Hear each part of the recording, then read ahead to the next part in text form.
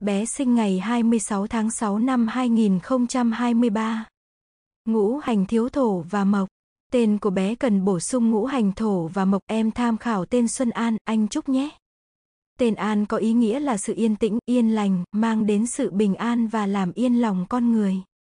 Giống như một người phụ nữ luôn mong muốn được sống trong một môi trường yên bình và an toàn. Theo phong thủy, ngũ hành thuộc mộc sinh ra hỏa và được thủy tương sinh.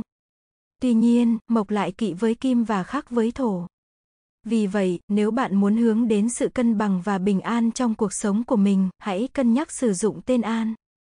Tên trúc ý nghĩa là hình ảnh từ cây trúc, một loài cây quen thuộc với cuộc sống đã trở thành một biểu tượng cho khí chất thanh cao của con người. Trúc là biểu tượng của người quân tử bởi loại cây này tuy cứng mà vẫn mềm mại, đổ mà không gãy, rỗng ruột như tâm hồn an nhiên, tự tại, không chạy theo quyền vị, vật chất. Ngũ hành thuộc mộc sinh ra hỏa, được thủy tương sinh nhưng kỵ với kim và khắc với thổ.